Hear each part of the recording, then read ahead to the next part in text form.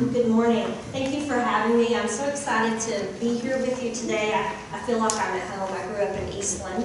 If you're familiar, it's just down the road, not too far. In fact, I was talking to my parents yesterday, and uh, they were headed to Louisiana, so we kind of crossed paths uh, in our coming and going. And my dad said, are you sure you want to drive at night?" It's like, Dad, I'm 41. said, but it, there's traffic and it's quite a ways. Dad, I'm 41. I went to Utah this summer by myself and DC and you know changed planes. I said, so, but thanks, Dad, for uh, worrying about me. I guess you never stop being a parent, right? Uh, ever since Dr. Pages uh, emailed me in the beginning of October, uh, I've been looking forward to being here with you today. Presentation being behind me is, keep turning around. So, um, so I'm very uh, excited to be here. I was so thrilled when she emailed me. I was like, ooh, an awards ceremony. I love that. Uh, I even had a little uh, countdown clock, kind of like getting ready for New Year's. And I was so excited. And so the other day I was like, ooh, three days, two days. And my, so I showed my students, I was like, look, look.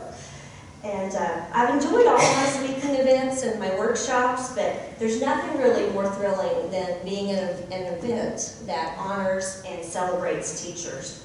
Uh, especially after I was reading some of your bios and uh, learning all about what you do. I, could, I really couldn't wait to be here and just bask in your greatness. So congratulations. However, um, I do know that I'm all that stands between you and lunch. and not only that, not only is it just lunch, but it's a lunch you don't have to scarf down in under 30 minutes. While multitasking, perhaps at the coffee machine that you know you're kicking, trying to get it to work, or chasing down a student to get their work, whatever it is that you do in your lunchtime. So, you know, I started thinking about this, and I'm not sure what's more difficult, trying to talk while people are eating, or knowing that they don't get to eat till you're done. So I've done both of those. And then when I found out that I had an hour to talk, I was like, I don't talk for an hour at school, like straight, you know. It's like, that an hour that's kind of a long time. And then I really kind of started worrying. I was like, does she realize what bad students teachers are? you know, you know. See, I see the nods. We were sitting at a workshop and you know, like, we would totally not accept that from our students. We're, we're just kind of bad about that. But it's because we don't get together very often, so we enjoy being with each other and visiting. Uh, I thought about having uh, some brain breaks every 15 minutes or so, like I do with my students, but just to you know get the blood flowing. But I won't insult your ability to stay focused. But if you need to stand up and stretch while I'm talking, then please go right ahead. Doesn't bother me. Uh, we do have the best of the best in here, so I'm sure we'll be fine. But uh, someone give me a signal if I stop or start rambling. Just uh, tell me I'm running out of time.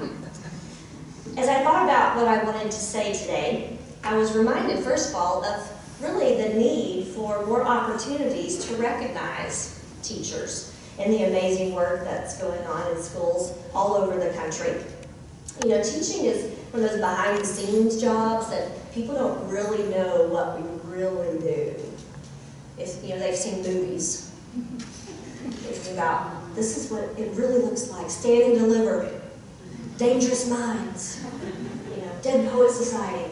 Like, I look like that. that. That's not how it goes in my room. Uh, so they have kind of this unrealistic expectation of what goes on. But there is amazing work going on all over the country. However, the media and the public are really quick to point out all the ways that we're failing. And they're really quick to jump on those horror stories and the things we really wish uh, were not going on. You rarely hear about all the successes. And yet there's so much greatness happening every day. So here are a few people I think are pretty great. These are some people I work with.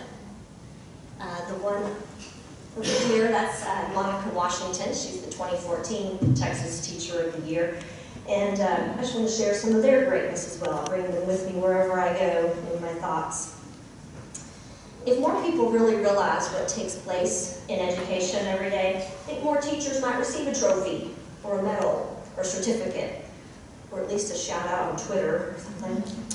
So I want you to take a second to breathe it all in. I hope that this will be something that you'll remember, especially on those days when it all seems to be falling apart. Like the day I had this week, or the one I had last week. Well, and my whole first three years of teaching. There's some things they just don't prepare you for in college, as well as they prepare us. All the courses that we take, and the curriculum, and lesson plannings, and the laws, and all the guidelines, and yet somehow there's some things you're just not ready for. You see, I've not always been the award-winning teacher of the year that you see before you today. Nope. In fact, sometimes I'm the uh, horrible, awful, no good, very bad teacher who's pretty sure she should quit. And you know, you might expect that of a first year teacher or maybe even a third year teacher that there's, you know, some bumps in the road. But, uh, you know, going into teaching, I, I didn't know it would be like that. Uh, I was ready. I was set. I was going to be the teacher who changed the world and made a difference, and all my students would love me and adore me, and it would all be perfect. And I just, I just didn't know exactly what I was getting myself into. Then I taught my first week. Not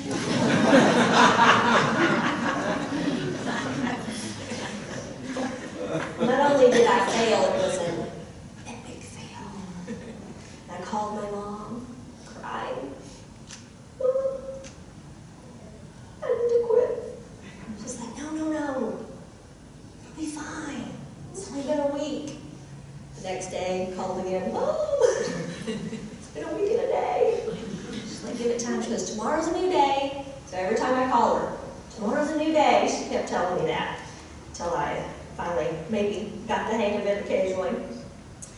And 20 years later, I still uh, have to now pass by this. It's really big in my hallway as you're entering the building. And I look at it and go, oh. In fact, they put it up over Christmas break last year. They didn't tell us it was going to be. It's big. I mean, you've never seen yourself in great big you're like, ooh, that's a school picture too. you know. And uh, so I was walking in over Christmas break one day, and the lights are off, you know, I'm going into the building, and I'm walking up the ramp, and I go, oh, because there I was, on the, like, eye level. And it was kind of, it was a little bit unnerving. I'm very proud of it, yet uh, I'm a little nervous too. Uh, and it's still there. I, I keep hoping, thinking they're going to like take it down because my year is up and all that. Um, I was kind of nervous because I'm a little concerned people will find out I'm really not so great. I mean, it says, you know, real big there, teacher of the year, and I'm like, and or maybe perhaps they kind of already know I'm not that great, and other teachers are passing by and they're going, you, you laugh because you know what I'm saying. And, uh, and then there's, you know, parents who come in and out of our building, and I'm afraid they're walking by and go, mm-mm. Especially that parent I had last week in the conference who's a little, you know, little perturbed up, uh, meeting the other teachers, and they're, they're mm, shaking their heads, and you, you're worried that they're going to like take a picture and put it on Facebook and go, no, oh. Facebook, I tell you, social media. Uh, even after nearly 20 years, there's still days that I think perhaps I chose the wrong profession. And if you haven't had one of those days, well, bless you, but get ready, it might be lurking around the corner. As I talk with teachers, I realize that you know, we're really kind of hard on ourselves. We don't expect perfection from our students, mm-hmm. but we sure do expect it from ourselves. Whatever you think perfection looks like.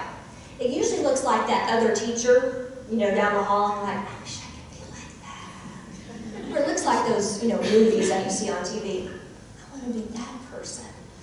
You know, oh, type of teacher. But let me clear it up for you. That teacher isn't perfect either. He or she probably thinks that there's someone else they want to be more like. And I love this quote. You know, don't let someone else make you feel like you need to be a better teacher. Be who you are as a teacher.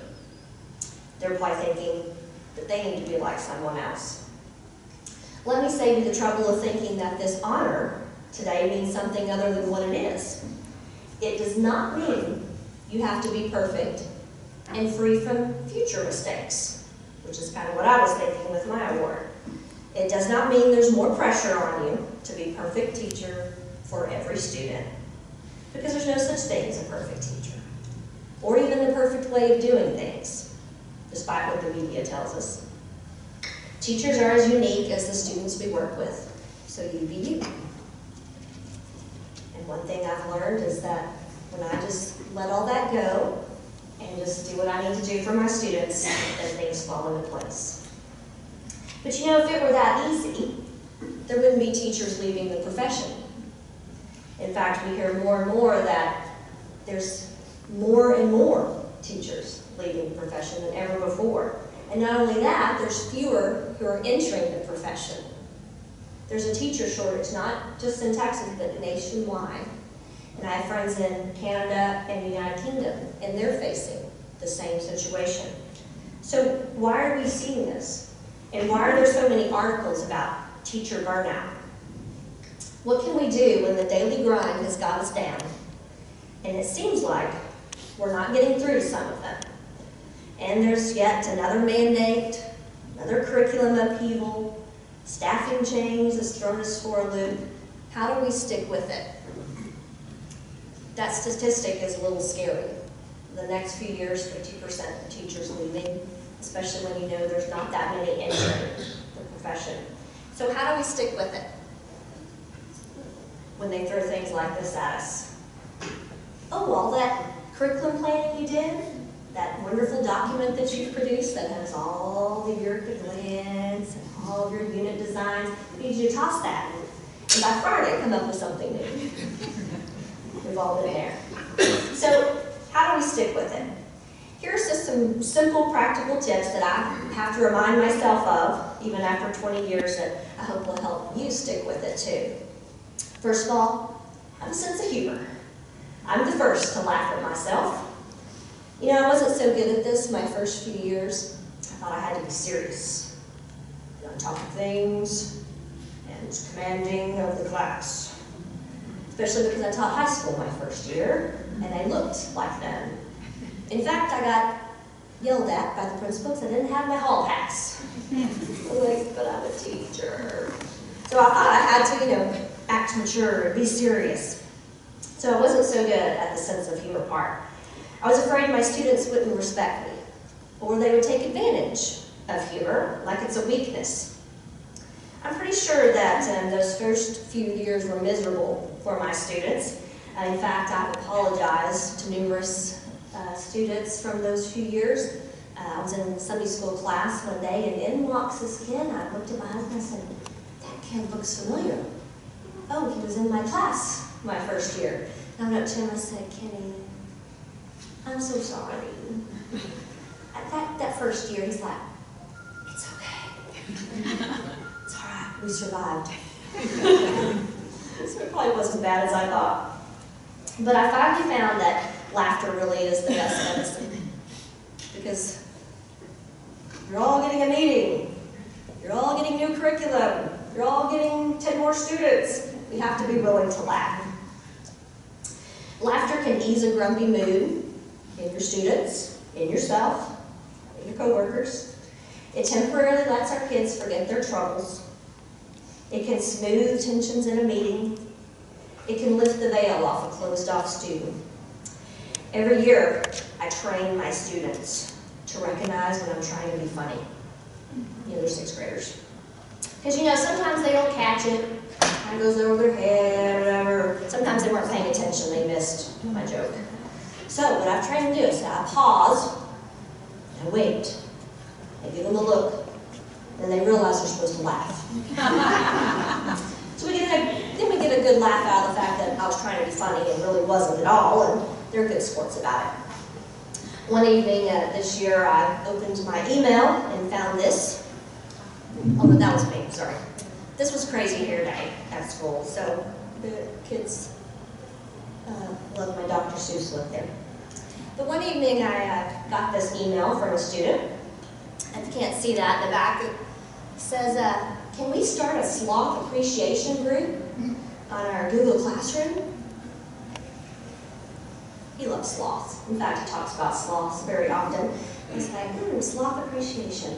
Not sure we have time for that, but I sent him this back. That is uh, the Gandalf sloth. so the sloth is never late, nor is he early. He arrives precisely when he means to. So I said, I appreciate your sloth appreciation. But, um, maybe we can have a sloth appreciation day sometime in the near future. So you just have to kind of go with the flow, go along with what the kids are doing. We laugh, we laugh often, and I let them laugh at me. We laugh at what a terrible artist I am when I'm drawing illustrations on the board. They're like, what is that? So I you know, tell them what it is because they can't tell from my drawings. We laugh when I stumble over words because I get so excited about something that I just stumble through it and I talk too fast. They laugh at my lack of rhythm when we do a just dance brain break. We do lots of dancing. You know, because life is too short not to spend time laughing.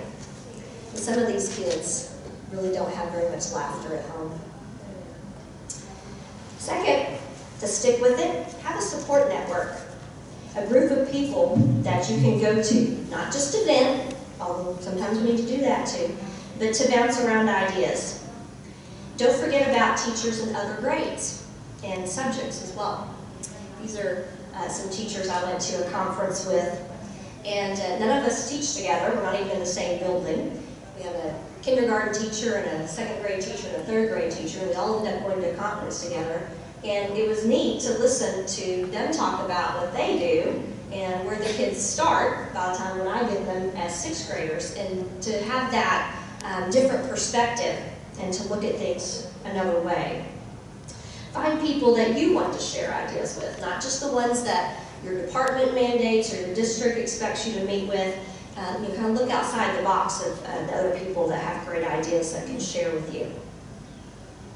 Join professional organizations like ASCD. Uh, there's the Discovery Education Network. Uh, there's uh, ones for your subject, like National Science Teachers Association. So if you're not part of some organization like that, I encourage you to get involved and get connected. Um, you'll be amazed what you'll learn from these people who are all over the state and country. Uh, sometimes we get so busy and caught up in the day-to-day -day stuff that we forget that there's a wealth of resources uh, and the teachers who are doing amazing things. But keep in mind that we've never taught so long that there's not something great to be learned.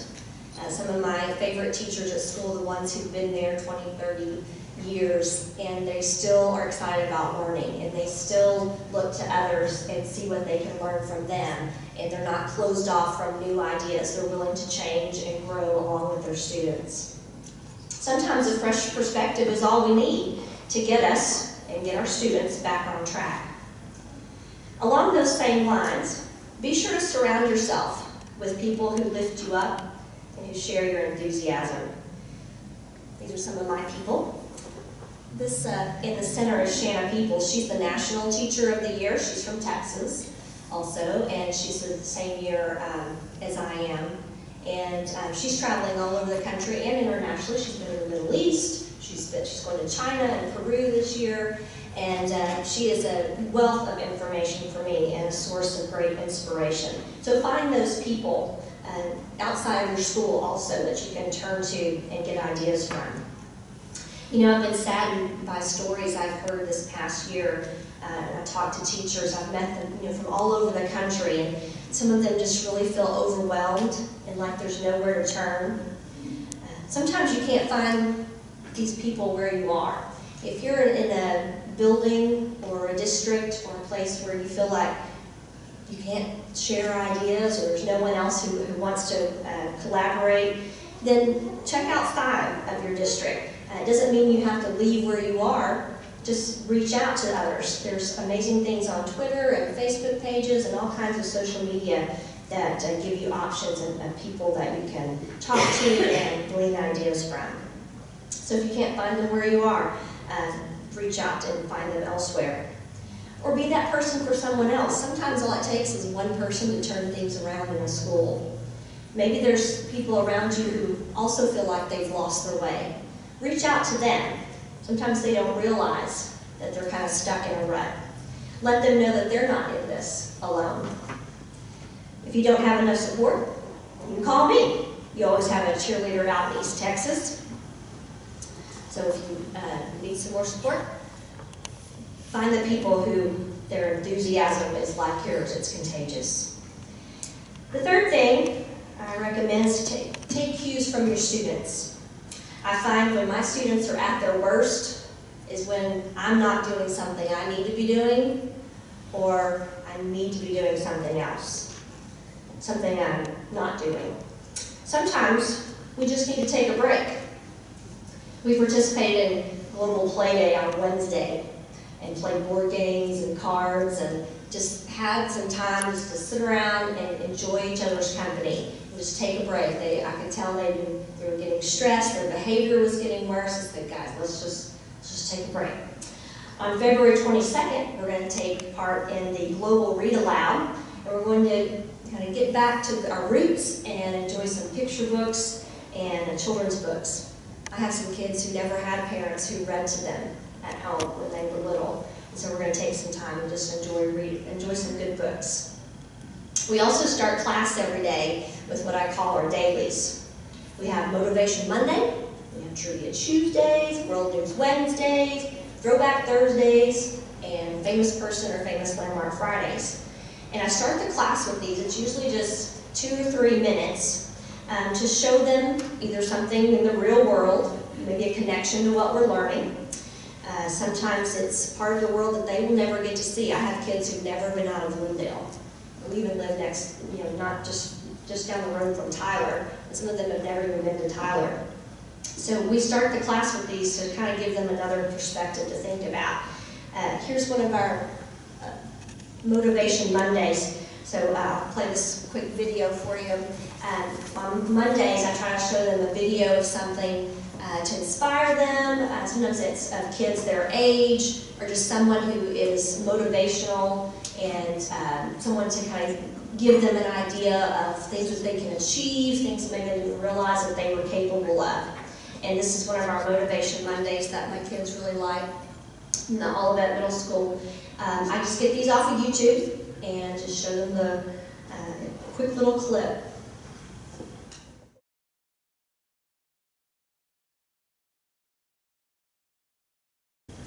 Gives you hope, doesn't it, for our future, that there's kids like, those are middle school kids did that for him. And so I show my kids things like this, and that's, you know, not very academic, but what a moment for them to see how kids are doing great things all over the world. And they really enjoy those. In fact, when we don't have school on Mondays, when there's a holiday or something, they come on Tuesday, they're like, Miss Crews, where's our Motivation Monday? So, well, it's Tuesday. Can you show us one anyway? I had kids this summer who emailed me, can you send me some Motivation Mondays? I need some inspiration. Now, my, I have to say, my girls were a little distracted because those boys were cute. so they, had, they were like, you know, but they got the message besides that. It's important that we really take time to listen to our students and get to know them. The time we spend building relationships is never wasted. You wouldn't think that we would need a reminder to build relationships. Most teachers are, are really pretty good at that. But sometimes I find myself later in the year and I realize have we really like had a conversation? Or we all we've been doing is academics and lessons and activities and work? Have I taken the time to really sit and talk to my kids today? It can be easily overlooked. When I told my uh, classes that I would be out today, now some of them cheered, but um, most of them just wanted to know where I was going. They're always interested in uh, what's going on. And upon hearing that I would be giving a speech, one of my girls, she asked if I would include her in it. They're sixth graders. Uh, Miss Crews, would you please talk about me in your speech? Tell them how great I am, and how fun, and how I like to talk. And I said, sure. So here she is. Got an arrow pointing to her and everything. She'll be very pleased that I did that. She's uh, having lunch with me in my classroom with some of her friends. Two of those girls earned 15 stickers on my leadership chart that I have in my classroom. And so I set the table and had some candles and flowers, and they brought their little, you know, sack lunches in, and we enjoyed that time together. That was that was much better than uh, me scarfing down my lunch by myself or in the lounge. And it's funny because a couple of days later, the girls came in the classroom and they walked by the table where we sat and they hugged it. And they said, oh, the memories we've made. Sixth graders. So clearly that was important to them. All they really want to know is that we are connecting with them and that that connection goes beyond academics. They want to know that we care more about the score on a test or their grade at the end of the six weeks. And with the demands of making sure that we're covering all the standards, and they're learning what they need to learn, it can be easy to forget that they're just kids. Even the high schoolers are just kids.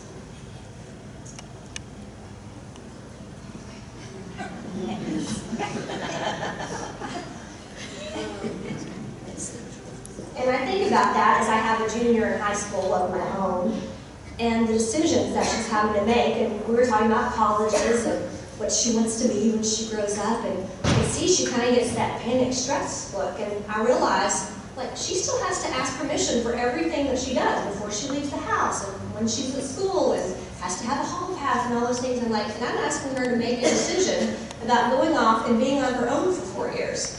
It's like one day they're kids, the next day they have to be adults. It's a little scary. And so they get a little stressed about that. It's something that we need to remember. Another thing that's important is to be an advocate for our profession and for our students. It's our duty and responsibility to change education from within. If we don't like the state of affairs, we have 330,000 teachers in the state of Texas. That should be the biggest and loudest voice. The number is pretty impressive as a voting bloc if you think about it in these upcoming elections. If there's things that need to change in education, we could be the ones who change it. Maybe things don't change because we don't speak up. You know, teachers are notorious for just accepting whatever they throw at us. We are adapters by nature. We think, well, I don't really have time to fuss about whatever the new change is. We've really become accustomed to just making it work. Whatever new thing that comes down the line, we just adapt to it. Sometimes we think that if we fuss over it or complain about it, that it makes us look weak or unprofessional or maybe not capable of handling what they've given us. But what we need to remember is that we know our students best. We know what they need. And it's up to us to be a voice for the voiceless. In addition, we need to make sure that new teachers, or even just those new to your school, know what's going on. You know, I'm dismayed at the mistakes I made my first few years, and if there'd just been someone looking out for me, you know, maybe I wouldn't have made all those mistakes. I think the only advice I got my first year was, um, I think you need to smile more. Which was good advice, but there were some other things I really could have worked on, and someone let me know. I've learned over the years that the stronger the school is, the more we all benefit. So we can't just be in our classroom and worry just about what we're doing. We need to remember that we're all in this together. Because individually, we can do great things, and there's much greatness going on, that together, we become a force to be reckoned with. Volunteer to be a mentor to new or younger teachers if you're not one. Or if your district doesn't have one, start a mentoring program for the new teachers to your district. Remind them that we're all in this together. We're there to give ideas, but we're also there to share the burdens and the joys. Last but not least, take care of yourself. When it all becomes a little overwhelming, remind yourself why you teach.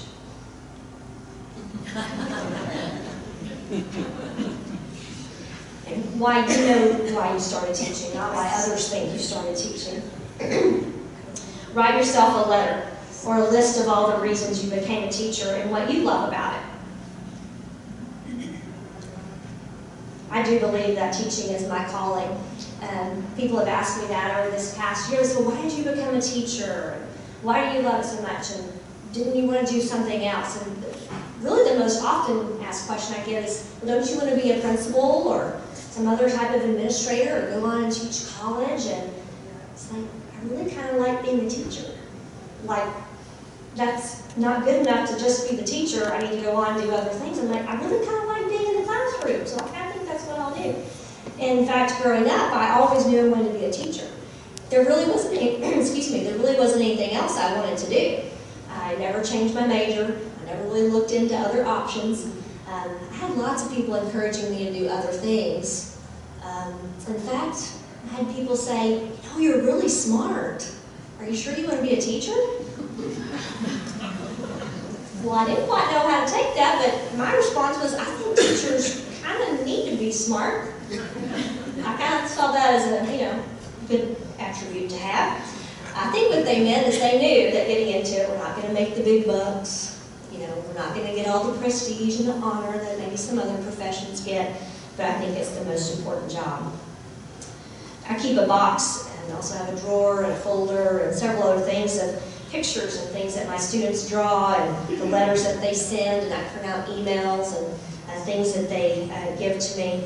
And I use those to affirm that I am indeed getting through occasionally, even those days when I feel like I'm not.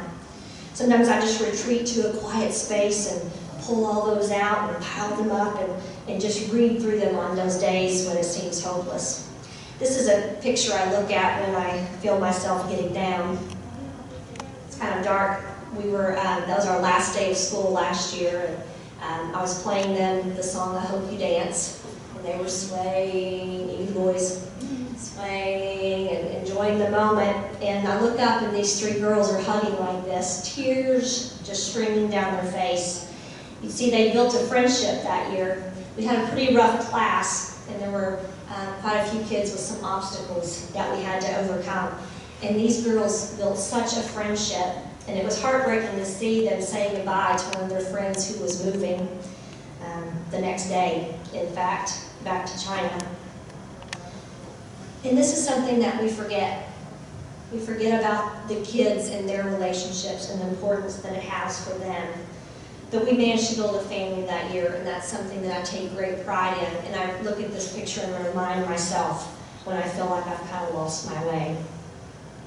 I hope you know that our identity, even as a teacher, is not wrapped up in whether one student passes the STAAR or starts reading before kindergarten is over I know we all want those successes for our students, but it's not always academic. And sometimes academics are not even the first successes.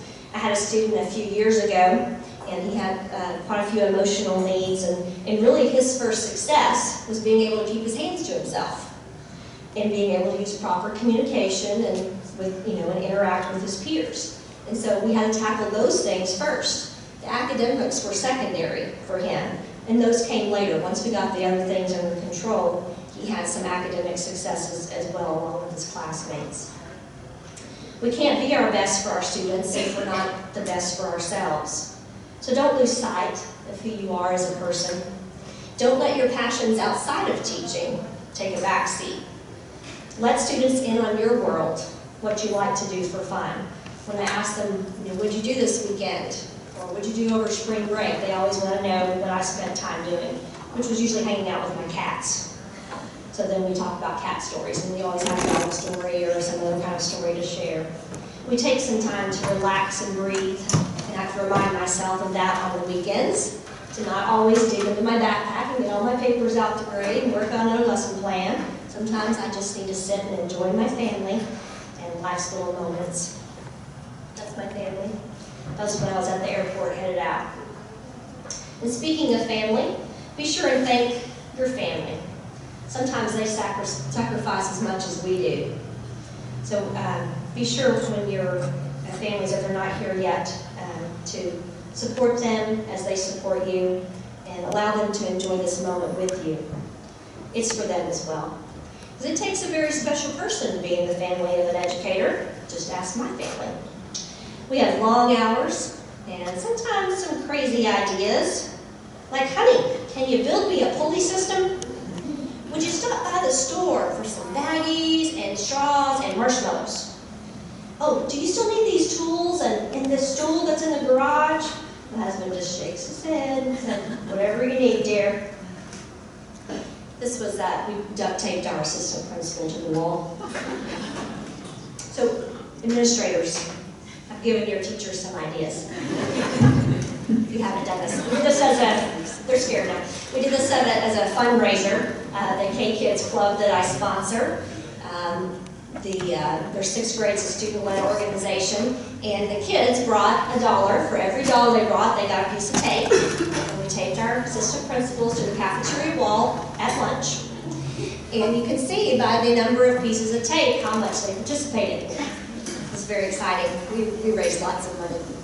And our assistant principal was a good sport, and he came off the wall and had, still had all the tape stuck to him, and he walked through the school like that and went to every classroom. We're doing it again this year. We're very excited.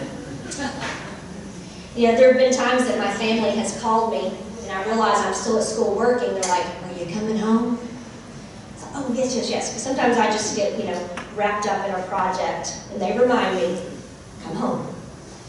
I was pretty sure that I had permanently and irreparably damaged both my goals with my teacher life until I got to read an article that my daughter wrote for her high school newspaper. Her journalism teacher asked her to write it um, after I won my award. And she didn't tell me that she was doing all that or that it was going to be online or in the school paper or anything. And I just wanted to share part of it with you, just in case maybe you worry too about the time that you devote to your students. So this is just a little bit of what she wrote. She said, consequently, the teaching life has become my life too. I've grown up in the school, spending days of my weekends or summers there, helping grade papers, create presentations, set up for events, getting to school unreasonably early, and staying way past time to leave, and of course, having no choice but to behave in school since my mother knows everyone.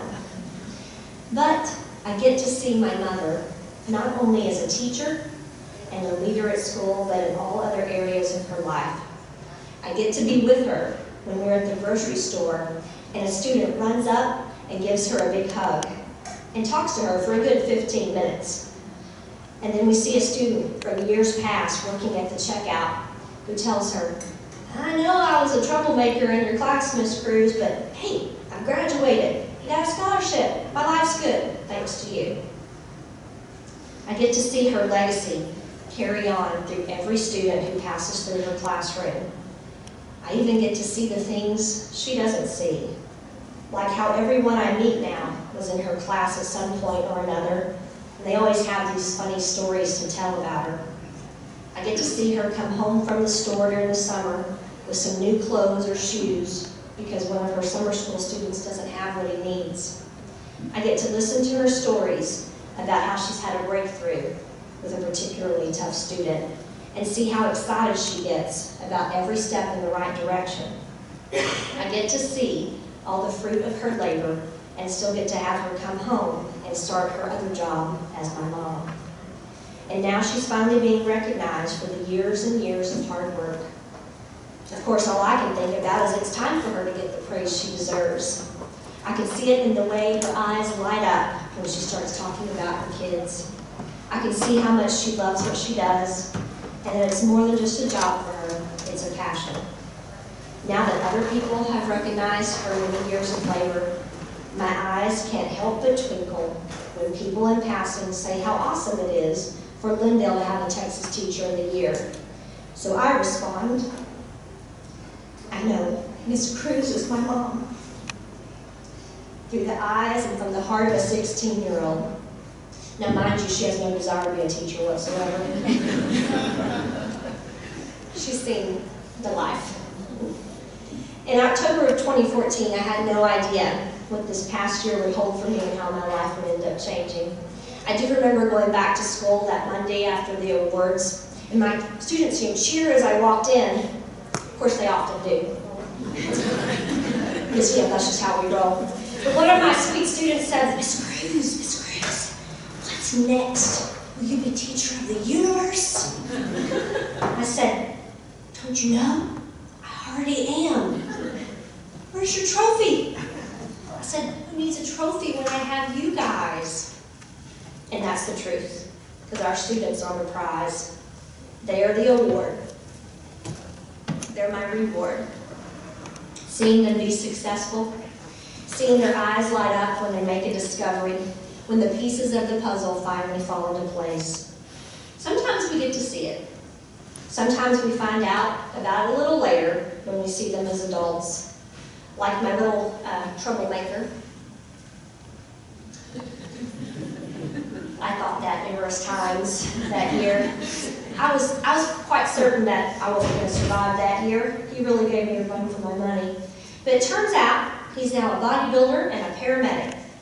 And when he found out that I won an award, he sent me a message on Facebook and uh, to let me know how he was doing. He said that he's gotten his life together. He thanked me for my impact on his life and the lives of others. And oh, how my heart just swelled with pride. They do grow up and turn out okay. And do you know, that's how they feel about you. They're proud of you. Even the junior high student who runs the other way when they see you in Walmart. They're afraid you're going to talk to their parents. Even the kid slumped down in his seat with a wall of anger so high around him, you think you're never going to get to him. Like my Tony. He was mad at the world and everyone knew it. He got in trouble everywhere he went, all day long, every day. And yet, day by day, I chipped away at that little wall and worked with him as best I could with what he needed. He was brilliant. Uh, not sure how much academics we covered that year with him. We were chipping away at the anger wall. He used to draw me pictures of cars driving off into the sunset because that's what he wanted to be doing rather than be where he was. And at the end of the year, I got this note from him in my yearbook. It said, I loved having you as a teacher. You taught me a lot about life. Not about academics, not about science and social studies, although we did some of that, about life. And if you think about it, that's really what we're preparing them for. Not just the next class, not just the next grade, not just college, although all those things are so important. We're preparing them for life. So you keep planting the seed. Give them roots, and surprisingly, almost miraculously, they will grow, in spite of where they might currently be planted. And I know it's heartbreaking sometimes to hear the stories of what some of our students struggle with and what's going on in their lives. Sometimes the things we don't see that are underneath. But plant the seeds, and they will grow. So I may not be teacher of the universe as my students wanted me to be, but I am proud to be a 19-year teacher. I've been honored to represent and be a spokesperson for our great state, my district, for my region, and now I'm so proud to be here with you and see you have the chance to be honored for your work with your students. You know how lucky they are to have you. This recognition today doesn't stop here. I hope you know that the honor continues because you're amazing educators. I hope you'll remember this distinction every time you look into your students' faces. Remember it with every lesson you plan and every activity you create. Remember it during cafeteria duty and while grading senior research papers and while actively monitoring during the STAAR. Never forget the influence you have each day if we think just about the teachers in this room, the 32 of you being honored today, let's just say you have 25 students. Now I know some of you have way more than that, so, but just for the simplicity of math, let's just say 32 of you each have 25 students. That's 800 students whose lives are being impacted by the people in this room. And if we multiply that by, say, 30 years of teaching, that's going to be 24,000 student lives impacted by you. And then multiply that by the other great teachers across the state and across the country and across the world. And those lives will be changed because of you. Just imagine what they're going to grow up and be and how they will take that impact and turn it around and impact their world. So never forget your influence and the importance of what you do every day.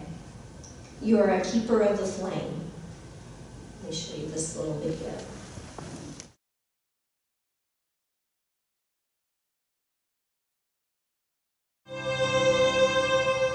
I had a new teacher friend said that to me at one of my lowest points. And I sat there, of course, in my classroom bawled, watching that. And I hope you remember that you are the keepers of their flame. I hope this recognition today inspires you to use your voice for our students and for our profession. I hope you to continue to seek out ways that you can grow and learn and influence those around you and in our state to improve education. And because I know who you are, and I know what you do, and I know what you're capable of, I want to close with a poem. That's the English major in me coming out. So next time you're thinking, I'm just a teacher, or someone says that to you, and you think, who will listen to me? Or you look at a student and you think, I don't know what else to do. I can't be more. I can't do more. I just want you to remember these words and what you mean to so many. Dear teachers, I see you. I see you still working in your class way past dark, taking home papers and bags and books. I see you meeting with teammates for the millionth time to find that one thing to get that student hooked. I see you planning and replanning and changing your plans to meet every learning style, ability, and need. I see you bringing them real world math and a love for books, even for those who struggle to read. I see you coaching and cheering and encouraging each one to go beyond where they thought they could go.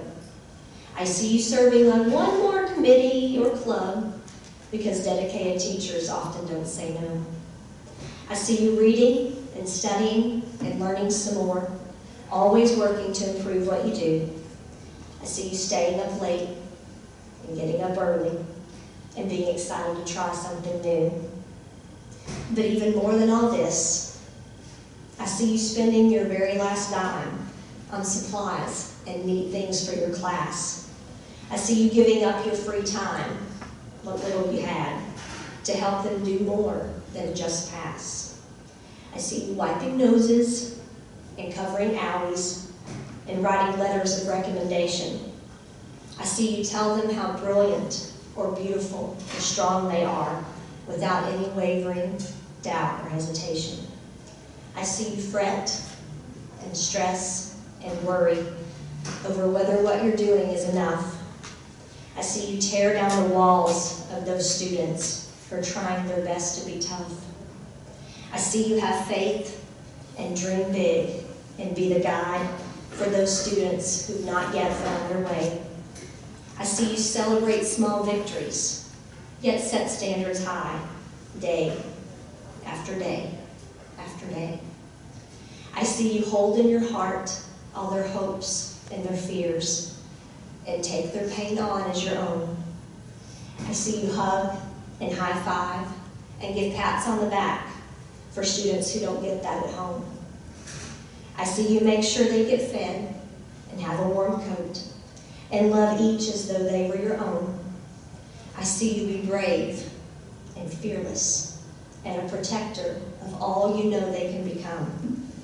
So, dear teachers, next time you feel like you're getting nowhere and the weight of their worry fills your heart, know that you're meeting them right in the place that they are. And that's always the best place to start. Pat yourself on the back. Keep on keeping on. Keep loving them big when they feel small. And know that not only do I see you and all that you do, but your students see you too. So stand tall. Congratulations. Thank you for all you do.